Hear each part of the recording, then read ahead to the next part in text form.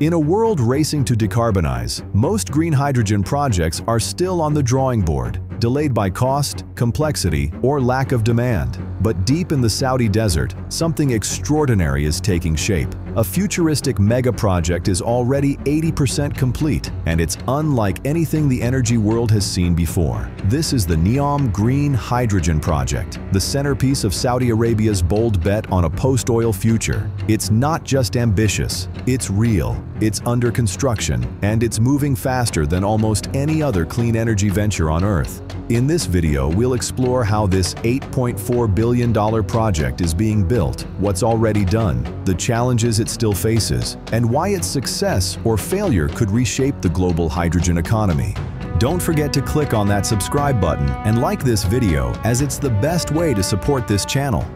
Saudi Arabia's NEOM Green Hydrogen Project, a central component of its Vision 2030 plan, has reached a major construction milestone. 80% of its infrastructure is now complete as of early 2025. The project is being developed in Oxagon, the industrial city within NEOM, the kingdom's 500-plus billion dollar smart city in the making. Jointly owned by ACWA Power, Air Products, and NEOM, the project is on track to become the world's largest green hydrogen-based ammonia production facility, powered entirely by renewable energy. What's already built? Construction has advanced rapidly across four major components, green hydrogen production facility, wind garden, solar farm, transmission and storage infrastructure, Major equipment like wind turbines, electrolyzers, hydrogen storage tanks, cold boxes and pipe racks are currently being installed. The renewable power backbone, 4 gigawatts of solar and wind energy capacity, is on schedule for completion by mid-2026. Commissioning of electrolyzers will follow shortly, with the first exports of green ammonia expected in 2027.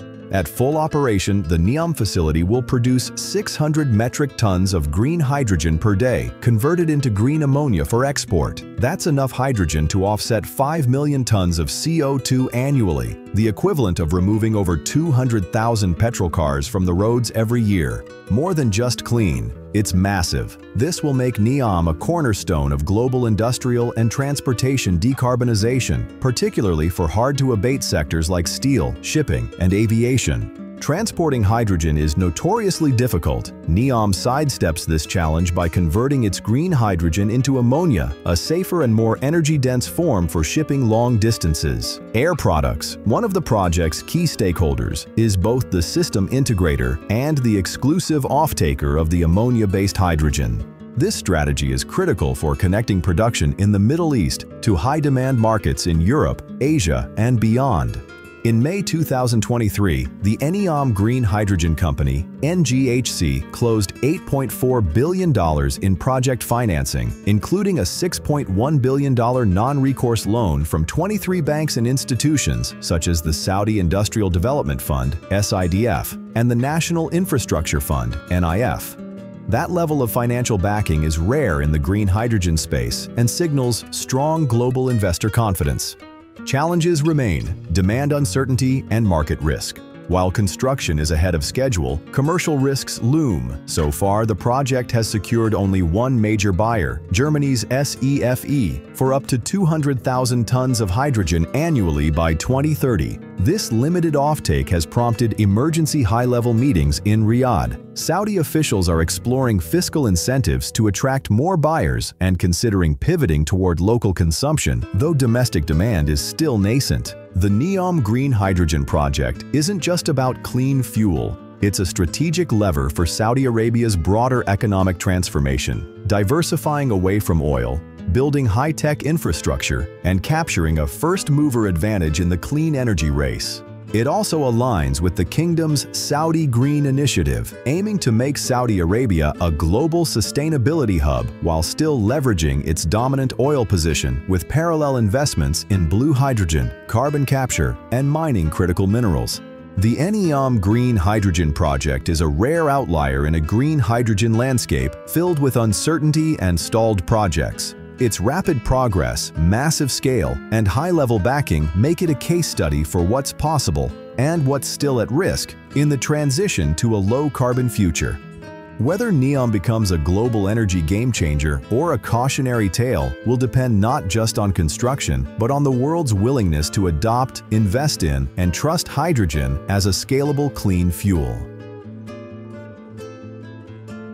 I'm Jaco Wijnands, Vice President of Operations here at NGHC. Hydrogen gas can be produced in many different ways, including a process called electrolysis. Water is made up of two hydrogen atoms and one oxygen atom.